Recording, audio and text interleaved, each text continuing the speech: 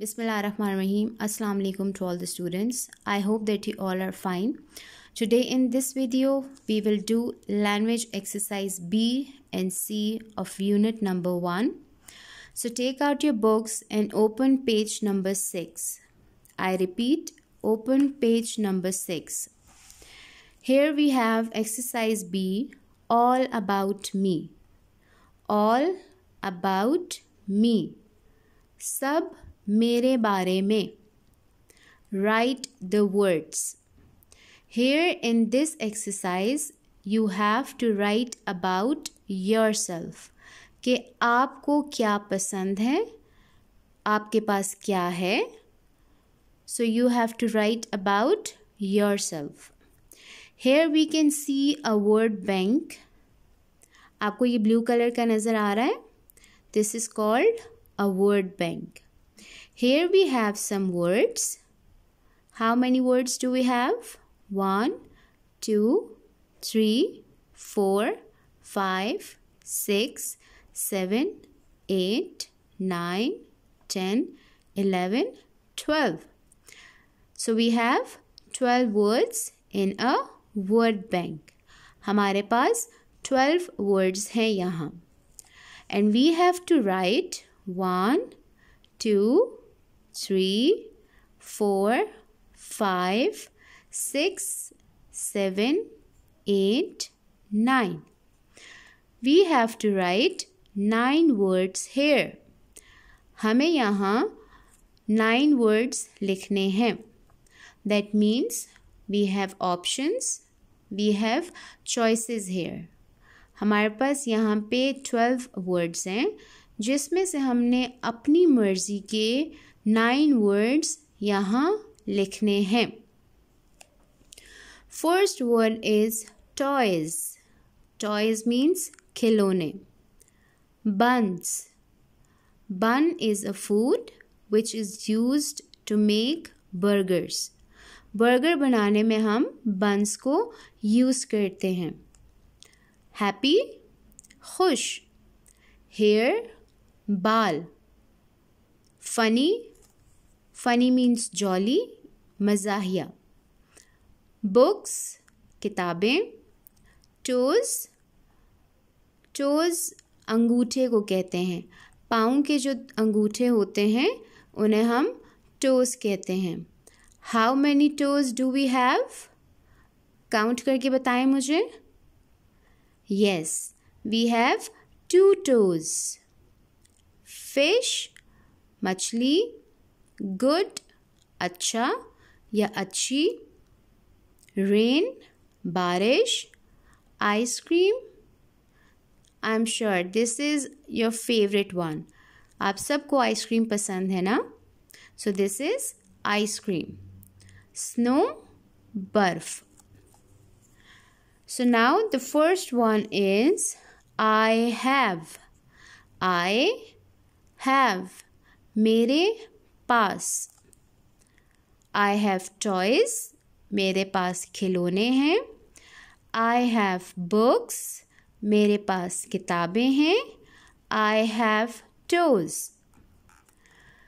so here I have written about myself मैंने अपने बारे में लिखा है कि इनमें से मेरे पास क्या है। You have to write about yourself आपको इसमें से जो पसंद है वर्ड और जो आपके पास है you have to write in these three blanks second is I like I like मुझे पसंद है. Fish I like to eat fish that's why I have written fish here I like ice cream मुझे ice cream पसंद है। I like snow मुझे बर्फ़ पसंद है। So here I have written about my likeness के मुझे अप, मुझे क्या पसंद है। You have to like you have to write about yourself that what you like कि आपको क्या पसंद है? Last is I am I am good मैं अच्छी हूँ. आई एम फनी मैं मज़ाहिया हूँ. आई एम हैप्पी मैं खुश हूँ. So here I have written about myself you have to write about yourself. I hope this exercise is clear to you. Now, exercise number C. Read and match. Read, पढ़ें and match or मिलाएं. Here you can see we have four pictures. How many pictures do we have? One, two, three, four. We have four pictures here. And we have four sentences here. One sentence, two sentence, three sentence, four sentence. Now we have to match the sentence with each picture. हमने हर sentence को उसकी picture के साथ match करना है। And we have to write the number in these blocks ये blocks हमें नज़र आ रहे हैं। इन ब्लॉक्स के अंदर हमने सेंटेंस का नंबर लिखना है। The first one is done for you So here The egg is under the table. The egg, anda, is under. Under means niche. The table. Table means maze. The egg is under the table. Anda maze ke niche hai. Now we have to see the pictures and we have to find that in which picture we can see egg under the table first वाले में first वाले में हमें अंडा नज़र आ रहा है टेबल के नीचे no here yes can we see a table here this is a table and this is an egg an egg is under the table अंडा मेज के नीचे है so here we have to write one this picture match with the sentence number one number two the cup is on the chair. The cup is on the chair.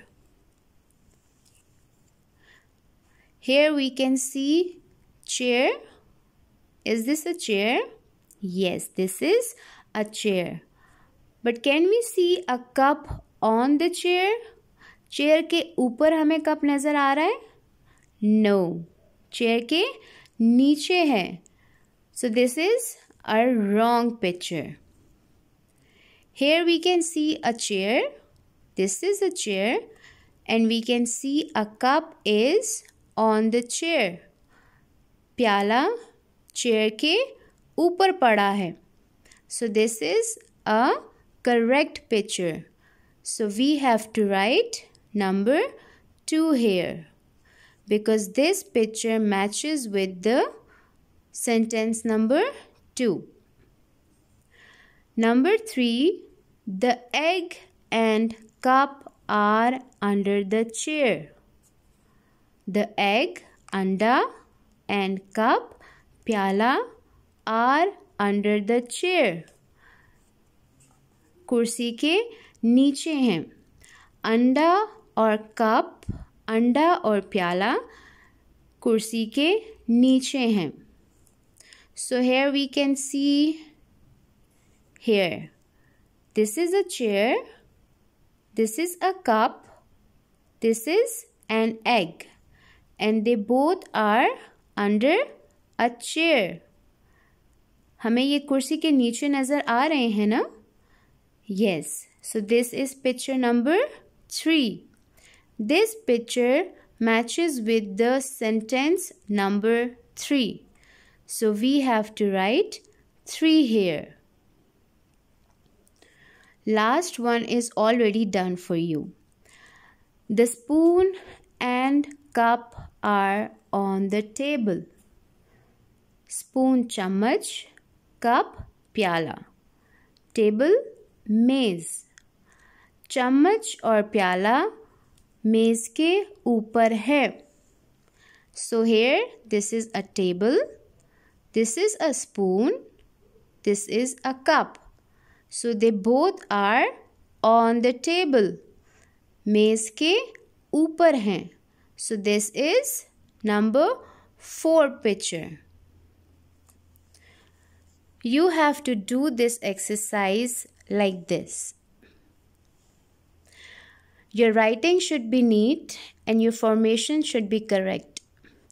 We will do words meaning and word sentences in the next video.